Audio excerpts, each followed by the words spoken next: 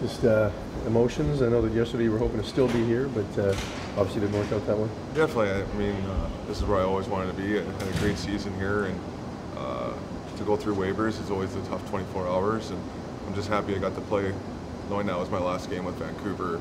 Left it all on the line there for the guys, and uh, it's been a great run.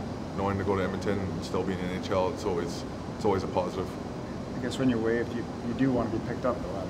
Yeah, I mean, yeah, yes and no. But uh, when you know you get picked up, you you get an opportunity to keep playing in the NHL and to go to an organization like Edmonton with McDavid, Eberle Hall, just so much great young talent, and to go be a part of that atmosphere for the rest of the season, I think it's going to be very exciting. And hopefully, I can prove to them that I can stick around maybe for another year or two. Adam, was this a special season for you, the fact that you could play here in Vancouver, once again prove that you could be a regular NHL? Yeah, definitely. Um, it's I came in with this attitude of making this team and being 30. I think it was my last chance to really prove myself I could play in this league, and Vancouver gave me the opportunity to do that.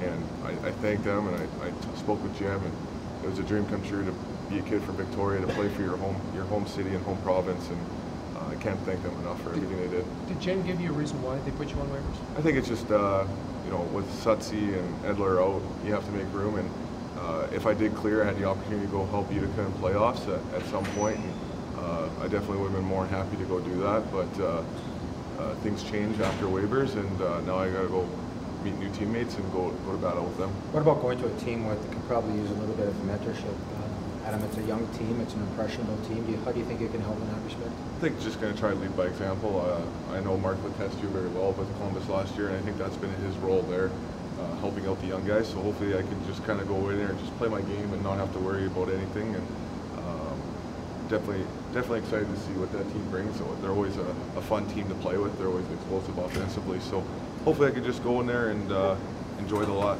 lot rest of the season here and uh, try to make a name for myself there.